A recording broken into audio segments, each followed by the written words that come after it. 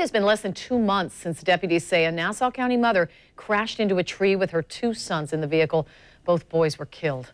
The father of those children, Andrew Bird, says they should have never been in Florida in the first place, and he's pushing for legislation so no one else will suffer the same type of loss.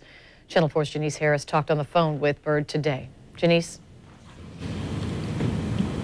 Andrew Bird says he is determined to make sure that this never happens again for any other parent, a tragic loss.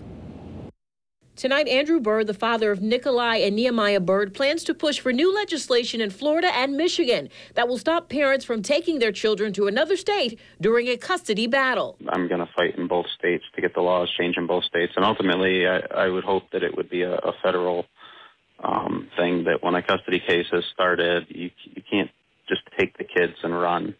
That's not how it's supposed to work. Bird told us he and Tanya Kapalia Bird had been in a custody battle over their three children, including the two boys who died in October in the car crash. The battle going on for years, and that he was granted custody of the children in a Michigan court. It was extraordinarily ongoing.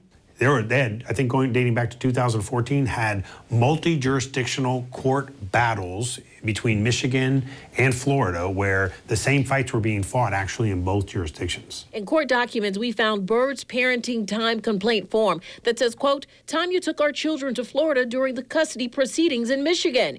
We also found an order signed by a Michigan judge on April 27, 2015, giving custody to the kid's father, Andrew Bird.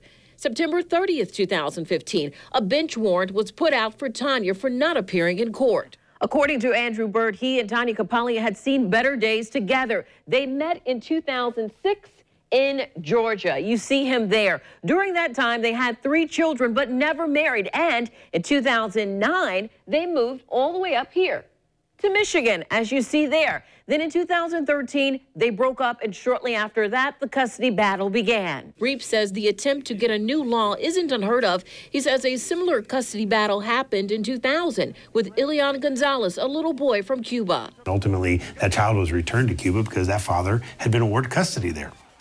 Similarly, the states in the in the union are supposed to give full faith and credit to judgments of other decisions that come out of other states. Andrew Bird also told me today by phone that even though he has the custody temporarily of his daughter and he also has the remains of his children that he recently buried, he is still paying child support to Tanya Kapalia Eason, who is now in jail. Janice Harris, Channel 4, the local station.